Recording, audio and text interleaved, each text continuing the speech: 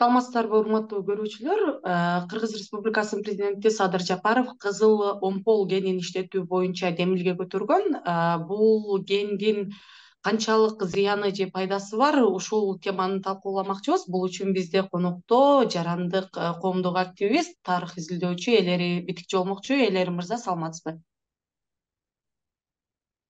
саламатчылык элер мырза сизге алгач эле суроо да бул кызыл омпол гени деген өзү мындай элдин оозунда айтылып келип атат бирок бул ген деген кандай ген кайсыл жакта жайгашкан канчалык мындай иштетүүгө кереги барбы ушул боюнча биринчи кыскача айтып берсеңиз эми кызыл омпол эки миң он тогузунчу жылы бизге маалым болгон ага чейин укпай деле жүргөнбүз аны ошондо буга чейинки президенттин э, убагында ал жактыдагы бир э, евразия деген компаниянын эмеси бар болчу лицензиясы. Ошо уранга уран казууга. Ошо россиялык бир инвесторду таап ошо менен чогуу казабыз деп башталган. Анан жергиликтүү калк ага каршы чыгып бияктан бишкектен да колдоо көрсөткөнбүз. Караколдон да чыгып аткан ушул э, үч төрт жактан протест болуп тоңдуктар дагы чыккан. Анан каздырбай койгонбуз. Бирок бул жалгыз гана ошо кызыл омполдун маселеси эмес да. Анткени ал уран кара балта жакка барып ошол жактан иштетилмек да. Ошондуктан ошо протесттин мындай толкунунда биз атайын бир э, мыйзам чыгарганбыз мыйзам долбоорун чыгарганбыз.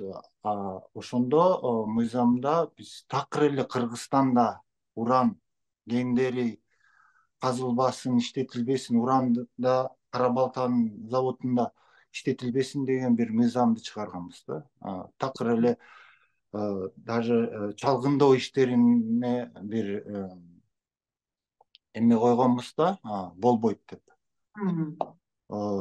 Бирок мындай карап көрсөк эми башка жактан кирип атат да ошол эле садыр жапаров сөзүндө айтып атат бул жалгыз гана уран казылбайт аякта аякта титано магнитит деген бир э, э, кең бар экен ошондон биз көп киреше көрөбүз деп бирок бул жөн эле шылтоо деп ойлойм анткени ошол эле өзүнүн сөзүндө эки миллиард кирешедей кирешени көрөбүз деп атат. Бирок бул чындыкка такыр келбейт деп ойлоймун анткени ал жакта специалисттердин айтымында бир үч миң тоннадай эле уран уран бар экен да мындай.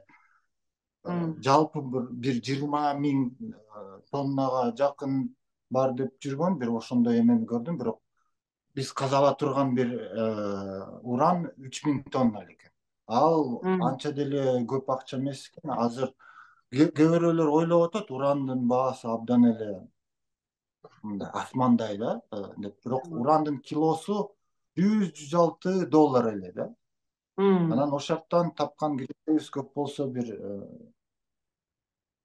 жүз элүү миллионго жетет го жүз элүү миллион доллар ушу үч миң тоннаны чыгарсачы анткени чыгарыш үчүн деле таза кирешени айтып атам да ошол эле казак атамдын кирешелерин карап көрдүм аларда алтымыш проценти ошо ишке кетет экен да ошо казып чыкканга аны переработка кылганда ошо алтымыш процент кеткенден кийин ошо кирешеден кырк процент келет экен ошондо ошону мен санап көрсөм бир жүз элүү миллион доллар эле чыгат экен ошо үч миң тоннадан уранданчы ошол эле күмүштүн баасы бир килосу тогуз жүз доллардан ашып ашык экен ойлоп көрсөңөр анан уранды казып бир килосу жүз доллар.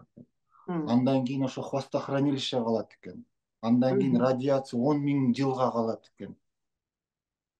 Анын пайдасы деле көп деле жок го деп ойлоп атам анан э, президент өз сөзүндө бул жанагы э, негизи эле э, бул бул ишкана экинчи кумтөр болот деген деген деп айтты да. Ушунчалык экономикалык пайда алып келет элдерге жумуш ордун камсыз кылат депчи сиздин оюңузча ушул мисалы э, хвостохранилищелер э андан калган э, э, жанагы уулуу заттарды көмүү боюнча.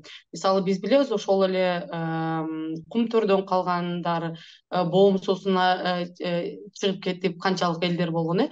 Негизи эле ушул кыргызстандагы кумтөр болобу башка кендер болобу канчалык мындай экологияга адамдарга канчалык таасирин тийгизип атат азыркы күнгө чейин кумтөрдүн кесепетин көргөндөр деле көп да ошол эле боомдогу сууга кеткен. Баскон сууга агып кеткен тиги эле. ошондон башталган эң биринчи бизде эгемендүү кыргызстандагы эң биринчи чоң бир экологиялык катастрофа ошондон башталган да. Менимче мындай кумтордун мисалы бул анча деле мындай жагымдуу угулбайт да. Кайта эле ошол акаевдин дооруна келгенде ал деле кумтор бизди экинчи швейцария кылат байып кетебиз. Иш болот баарыбызга деп ушинтип көп көп калыптарды айтып аткан. Эми азыркы президент билбейм эми балким өзү деле буга ишенеби же бизди ишендиргиси келип атабы бирок мен ишенбейм ага анткени айтып атпаймынбы санап көрсөк эле ошол эле атом бир миллиарддай доллардай киреше табат экен. Бирок жылына ал жыйырма бир миң тонна уран казып чыгат экен. Ошону да сатат экен да. Ошондон кийин гана бир миллиард келип атат да. Кызыл омполдо айтканымдай үч эле үч миң тонна уран экен ал эки миллиард такыр чыкпайт да бир миллиард доллар киреше жыйырма бир миң тоннадан келип атат казакстанга анан кантип эле экинчи кумтөр болсун кызыл омполдо үч миң тонна уран болуп турса да анан казатомдо жүз процент ушу кенди иштетип атканда жүз процент щелочный бир ыкма бар экен щелочты ошо жерге куюп бирдеме кылат экен мен көп деле түшүнбөйм аны геолог эмесмин да анан ошондо хвостохранилище болбойт экен да бирок ал суу радиация болуп калат да ал каяктан ушундай ыкманы колдонсо болот бул бир мындай жердин астындагы суулар башка жака акпаган жерден колдонуш керек да ушул щелочь ыкмасы. Бирок ошо кызыл омпол жакта э, үч этаждуу бир э, эме бар экен. Мен атайын карталарды көрдүм. Э, кыргыз геологиянын карталары. Үч этаждуу бир жердин астындагы суулар агат экен. Азыр деле балыкчыга баратканда көрүп атпайбызбы? Мындай көп өрүк бактар пайда болуп ал жакты ошо скважина казып ошол суу менен сугарып атат да анткени аякта чоң деле суулар жок да мындай. Ошонун баары жер астындагы суу да. Анан ошол щелочь ыкмасын колдонсо ошо жер астындагы суу менен барып же көлгө куюлат же орто токойдун тиги чүй суусуна куюлат экен да. Аякта ушул үчүнчү ыкма хвостохранилище калбаган ыкма болбойт экен такырчы ошондуктан балким алар шахта менен казабы же э, ачык метод менен казабы. Ошондо жалгыз гана ошондо хвостохранилище пайда боло турган бир ыкма аларга каза турган бир эле эме калат экен да ошо анан айтып атпайбы казып чыгарсак радиация такыр эле калбай калат бул бул деле кандай эле калп болуп атат да. Анткени майлуу сууда он миң тонна уран казылгандан кийин онбу же жыйырма миң тоннабы бирок ушундай да кичинекей эле бир эме бир миллион тогуз жүз миң тонна калдыктар калыптыр да. Ошол хвостохранилищедечи ошо он миң тоннага жыйырма миң тонна болобу айырмасы жок эми эки миллионго жакын калдыктар калып атпайбы ушундай радиация алуу да. Ошол уунун баары тараганча канча жыл өтөт эки билбейм бул шайтандын эле иши болуп атат. Бизге анткени мындай киреше бул биздин урпактарга каршы бир кылмыш катары эле деп эсептеп атам мен анан э, ушул эгер эсиңизде болсо эки миң он тогузунчу жылы бишкекте ошол уран уранды казууга каршы атайын протесттер болгондо сиз ошону э, негизи демилгечилердин бирөөсү болгонсуз азыр э, президент мындай президенттин анын жакындарынын айтуусунда анын жанында иштеп жүргөн кишилердин айтуусунда бул азыр буга каршы эч ким чыккан жок протесттер дагы жок ушундай сыяктуу дагы пикирлер айтылып атат да. Кандай ойлойсуз элдер азыр бул темага кандай карап атат? Эмне үчүн мындай ачык каршы болуп каршы пикирин билдиргендер аз болуп атат деп ойлойсуз? Балыкчыдагы активисттерге дароо эле айтыптыр каршы чыксаңар камайбыз. Ошондуктан аны азаттыктан деле көрдүк чыгарганы бир пост постту да көрдүк чыгарганды мен тааныган тияктагы кишилер деле айтты мына биз мурда деле чыгып аттык ачык эле бирок азыр ачык эле айтыптыр камайбыз анан албетте эч ким ачык ачык айтса деле бирок мындай тышка чыгып бир аянтка чыгып митинг эле дароо эле конституционный переворот же дагы бир бир кылмыш жазасын бир асмандан таап алып ошону ошол менен камап салат да. Анан албетте эч ким чыкпайт. Бул э, жок деген нерсе жок да мындай э, каршы чыккандар жок экенин билдирбейт да. Бул бул күчкө баш ийгенибизди көрсөтүп атат. Э, бирок ошондой болсо деле биз соц тармактарда болобу же бир мыйзамдуу иштер менен албетте каршы чыга беребиз анткени бул логикага же мындай жөнөкөй эле бир акылга сыйбаган бир иш да биякта көл турса тияктагы чүй дарыясы турса ошонун баары радиация болуп кетсе. Майли сууда азыр гана ошондо деле кыргыздын акчасы эмес да бул. Ес болобу же магт болобу же росатом болобу ошолордун акчасы менен ошол хвостохранилищерине араң ремонт кылып ошондо акпай калдык да буга чейин майли суу дүйнөдөгү эң кир радиациялуу бир шаар болчу да.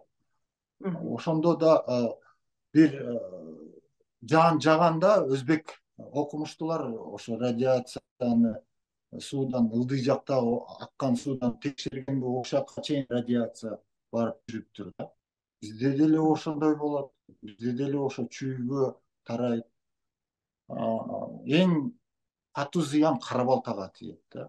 Эң катуу зыяны анткени аяка ошо урандын оксид болобу же ошол жактан ошол жактан чыгарат да баарынчы анан мурда кара балта жакта анча көп киши жашачу эмес да бул жабык мындай жарым жабык бир шаар болчу атайын. Азыр ал чоңоюп кетти. Бирок хвостохранилище ошол эле шаардын жанында турат да. Анан тилекке каршы шаардын өйдө жака өйдө жагында турат да. Ошо суусу агып ошондо деле кичине ойлобойбу кичине ылдый жака деле коюп койсо эмне болот дейм да.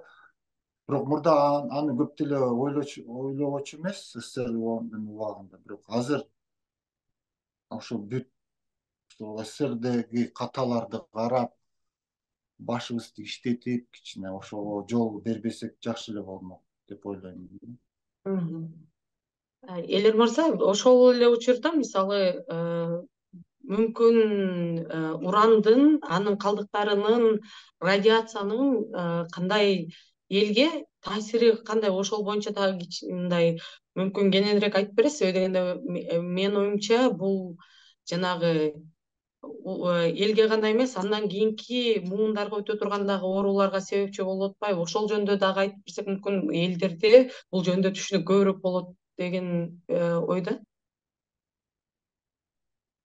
менимче түшүнүк жакшы эле элде бар да бирок кандай десем мен мындай идеология же мындай реклама баары берилип кеткенине же азыр коркуп эле эч ким эчтеке айта албай атат да.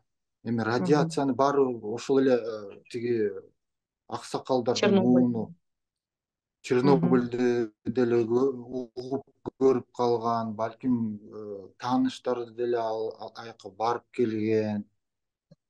Кайта эле баары колду көтөрүп макул деп чыгып атпайбы дейм да ошондо кандай десем аны айтып түшүндүрөбүз деп анан ошо менен элди бул жака бууп кетебиз же бир эл артыбыздан барып каршы чыгат деген ойдон мен алысмын да. Анткени баары эле бүт баарын түшүнүп эле атат. Бирок бул деле ошол эле желектин маселесиндей дагы бир активисттер чыга калса дароо эле камап аларды дароо эле ошондой бул бир тиги эдичка барго тиги эдил байсалов. Айткандай бул эме болуп атат да элди тарбиялоо таптап атат да элдичи мындай өзүнө ылайыктуу бир эл керек болуп атат буларга ошол эле себеп себебин көрүп атам да анткени эл баарын эле түшүнүп атат мисалы биз митинг уюштурганда мага бир аял келип айтып атат мен болом биз ошонун кесепетин баарын көргөнбүз баламдын эмеси грудной клеткасы монтип төрөлүптүр да ачык болуп ошондой биринчи жолу уктум да ошондой ушундай да төрөлөбү депчи анан көп эле нерселер болуп атат чүйдө мисалы ошол кара балта жакта аялдардын рак оорусу көп болуп атат. Майлуу сууда деле ошо изилдөөлөр болгондо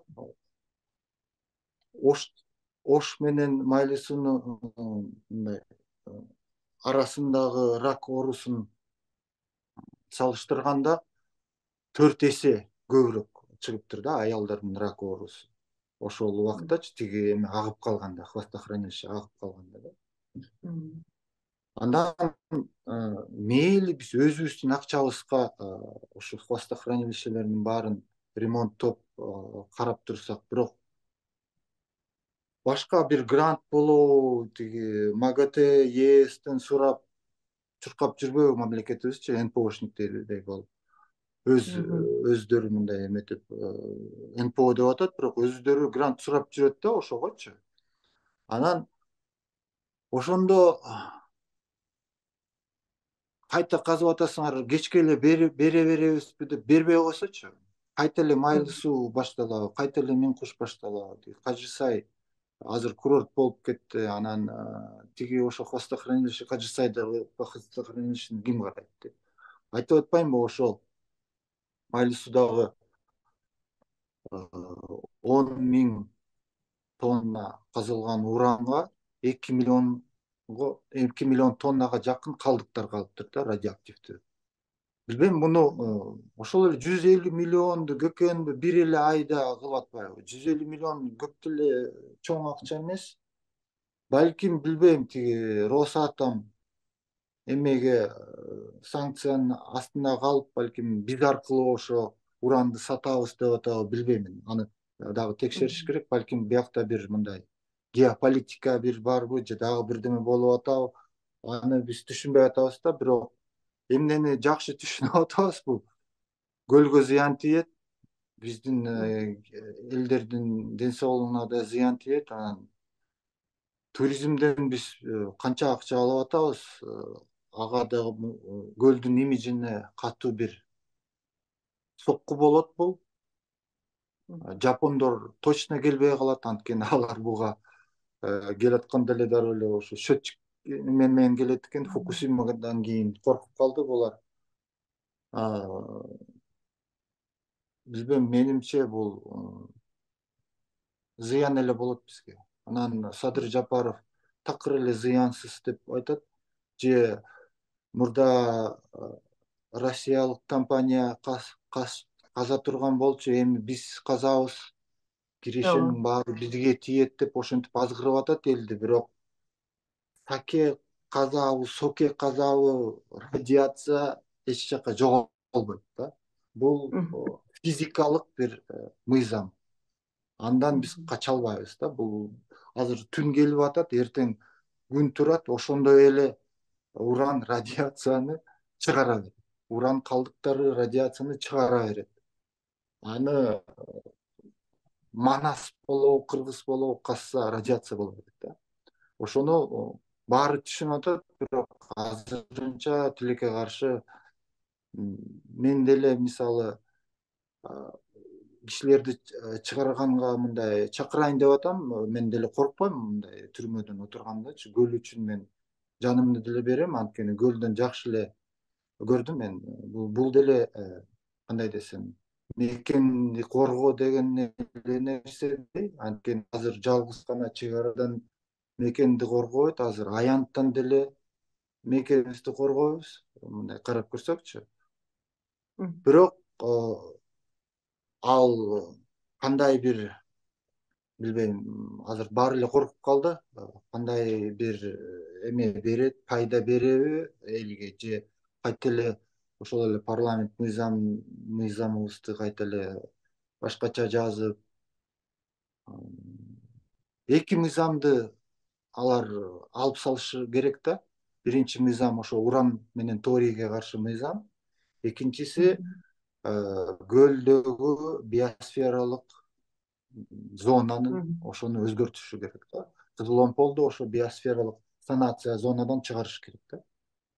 Ошол эле э, бирок чыгарат го анткени кумтөр деле тиги э, сары ча тер таш жерди алып алып анан сары ча тер таштын картасын өзгөртүп салбадыбы ошондой эле э, көлдүн санация зонасын ошо биосфералык зонасын да өзгөртөт деп ойлоп атам азырынча тилекке каршы күч бийликте каалаганын жаса турмай болду да. Анан ошол эле өзүндө садыр жапаров бул нерсе жанагы миңдеген кишилерди жумуш орду менен камсыз кылат жергиликтүү жергиликтүү элдерге мындай байыганга жардам берет мындай мультипликативдүү эффекттери көп деп айтып атат да. Ушул мультипликативдүү эффект мисалы ошол эле мындан бир нече эсе чоң болгон мындан баалуураак металл чыгарган кумтөрдүн көлгө тийгизген таасири кандай болду да? Бул ошол эле экономикалык жактан башка жактан э, э, жергиликтүү элдерди мындай өнүктүрүү жагынан кандай таасир берди? Ошо кумтөр эки деп айткан садырдын сөзү абдан неудачный болуп атат да. Анткени кумтөр бул бизде э, мындай коррупциянын бир символу эле болуп калбадыбы анан э, көлдү көлгө көп деле пайда тийгизгенин көргөн жокпуз.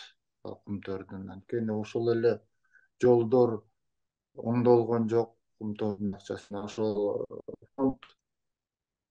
развитие исыкульской области болчу анын баары жеп салган анын бүт акчасын. Чынын эле айтайлы бул бир э, чиновниктерге бир кормушкадай эле болчу.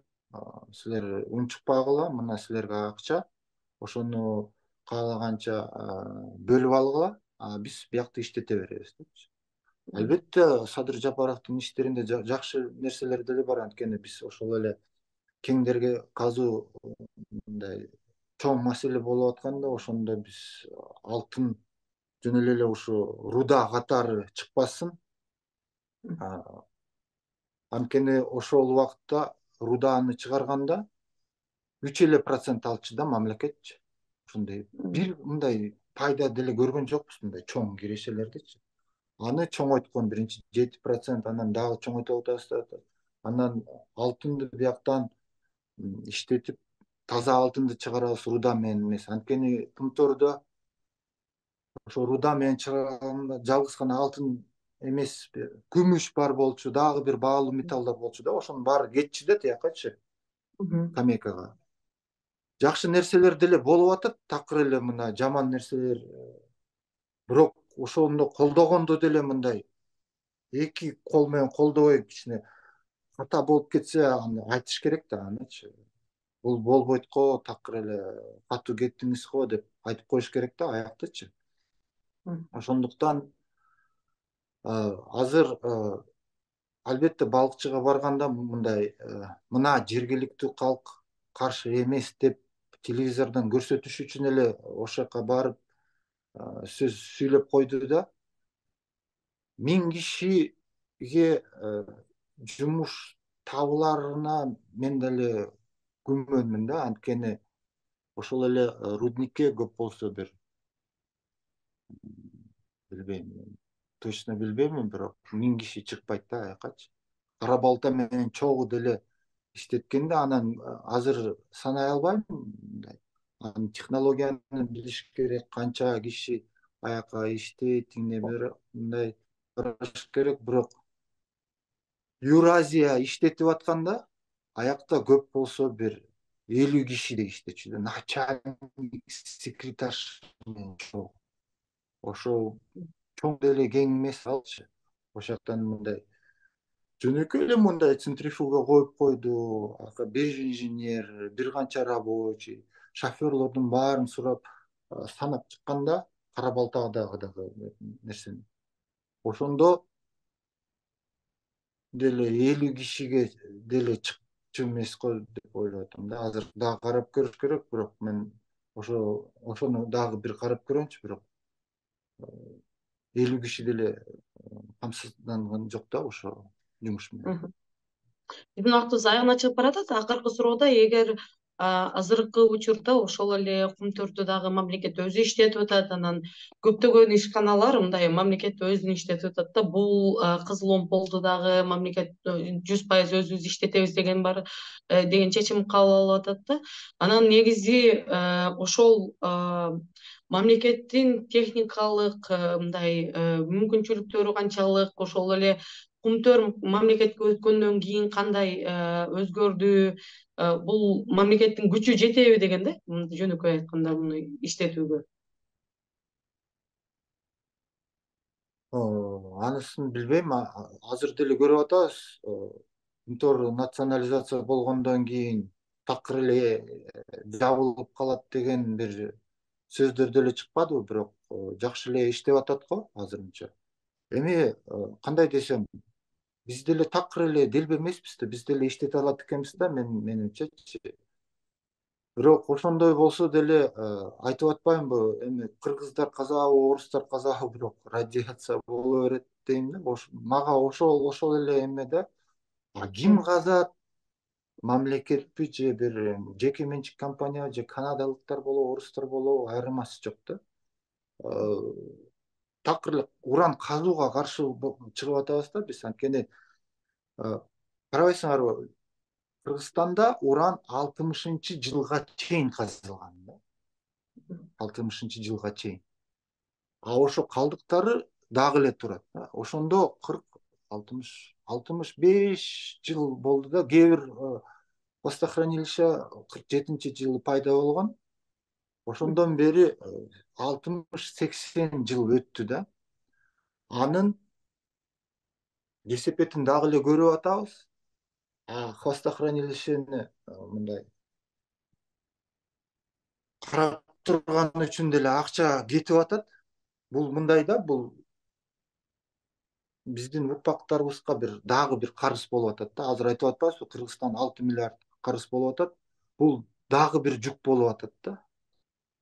Бизден кийинки бир муундарга дагы бир жүк болуп атат. Азыр мейли ошо миң киши жумуш табат иштейт жейт тойго барат ошо менен баары байып кетет. Андан кийин эмне болот?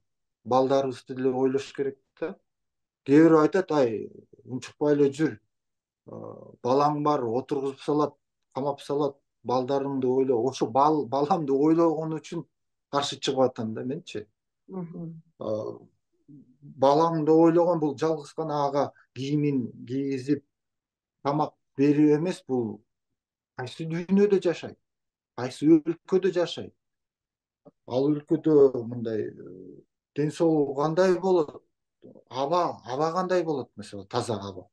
Ошо ошону азыр деле ойлош керек да анан а кийинки муун келет ошо технология менен дагы бир нерсени табат деп. Технологиялар эч качан мындай э, бизди жакшы жака бура элек да дагы элечи ошол эле таза абаны кантип чыгарабыз же таза суу же радиация ошо калдыктарды дагы эле дагы эле турат сексен жыл өттү. Бирок ошондо казып атканда ошо радиацияны ушинтип айткан да алтымышынчы жылдарычы а эми эмки муундар бир бирдемени табат депчи бирдемени таап биякты тазалап коет анан кайта алма бак тигип отура беребиз депчи кызыл омполдо радиация калат алма бакты тиге албайбыз аяка ал жак э, жабык зона болуп калат.